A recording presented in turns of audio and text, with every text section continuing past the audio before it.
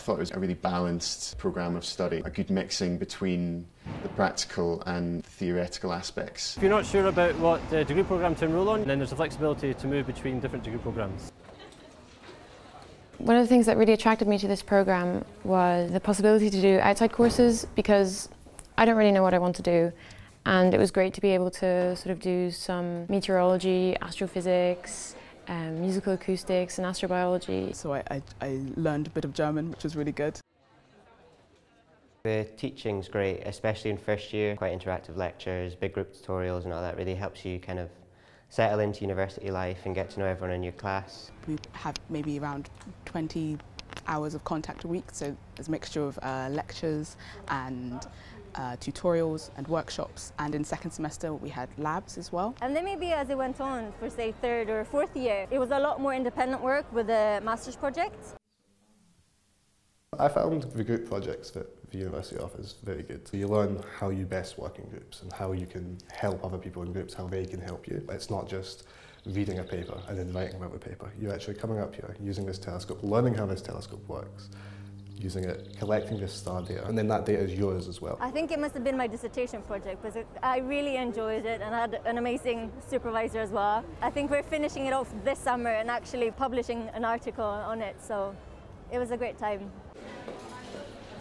What I really liked about the degree was how approachable the lecturers were and how we formed a nice community of students. Settling in has been quite easy actually because the people here are so friendly and it's an international community so you meet people from all sorts of places. The atmosphere even in the workshops and classes and you can just walk up to any of the other students and be like hey I really need help.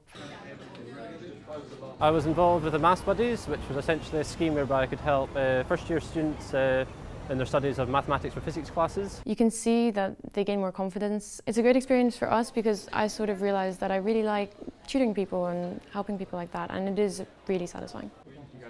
Lecturers and the supervisors are really supportive when you get enthusiastic about something. So if you're enjoying a particular subject or you're doing a project in something, they recognise that and they get behind you it's really enabling uh, if you want to take something further. There's always the, the support for me. I definitely like the personal tutor system. It's been very, very helpful, not just um, in terms of academic um, advice, but in terms of mental, emotional support. My personal tutor really helped me a lot to help me settle down and get into study and life. In my second year, I was part of the Student Staff Liaison Committee.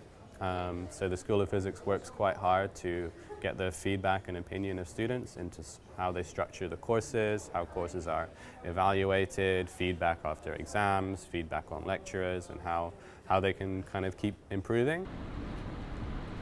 When I started university, I went straight into second year. It was hard because I had to learn about living independently and how the university worked and everything. The work was hard but I think it was worth it. I didn't do uh, further maths at A level. I think that the maths in semester one and semester two uh, really helped bring me up to the same level as everyone else who may have done further maths or other kind of maths.